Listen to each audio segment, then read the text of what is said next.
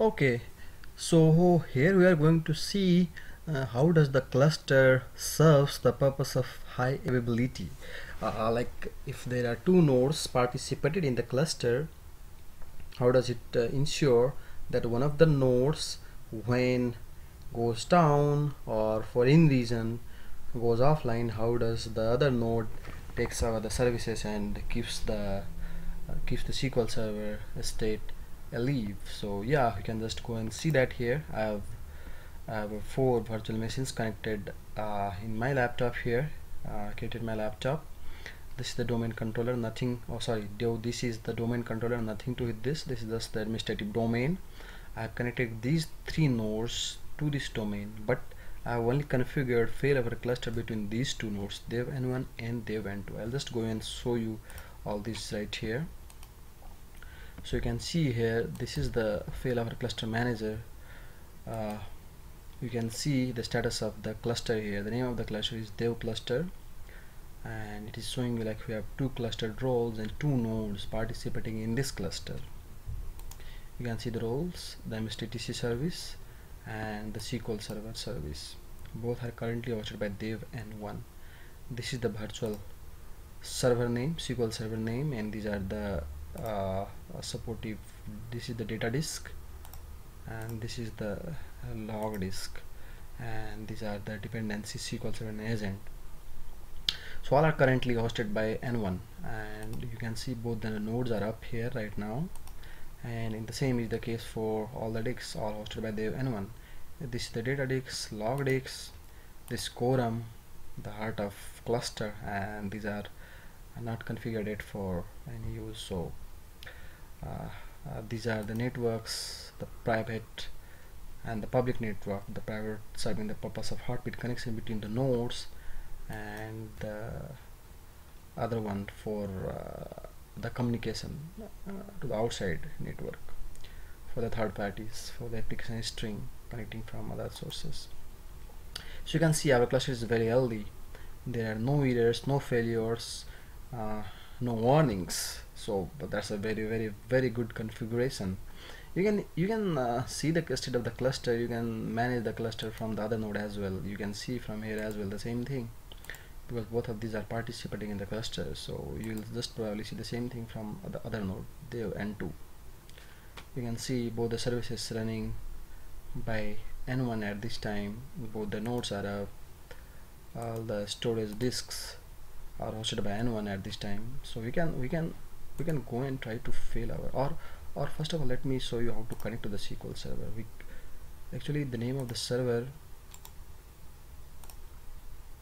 is dev n1 it's not uh, Ashok but the virtual name of the SQL services uh, here is Ashok. So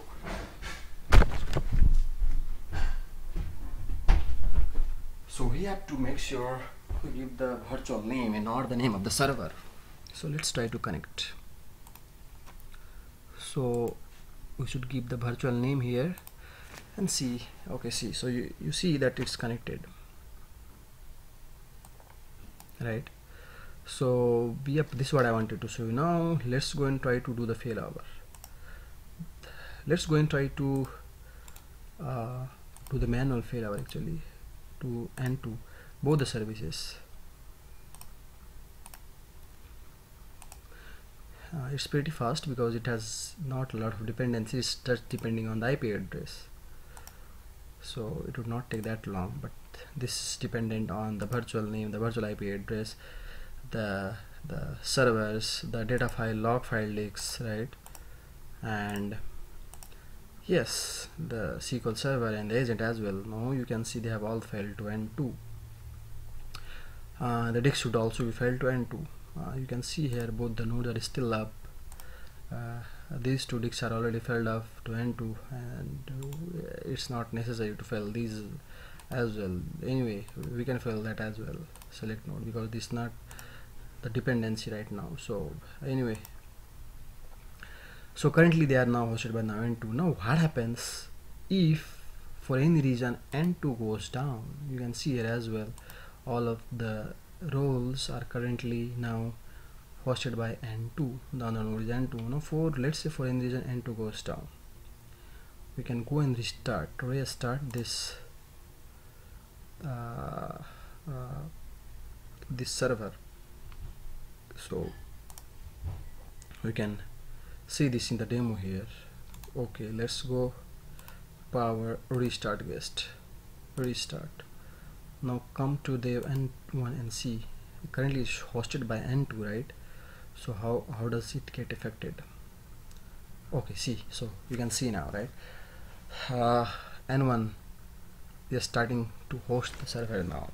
And making sure uh, you don't have any uh, any timed out or like uh, the application doesn't get uh, no connection message so you can see now the services are back online.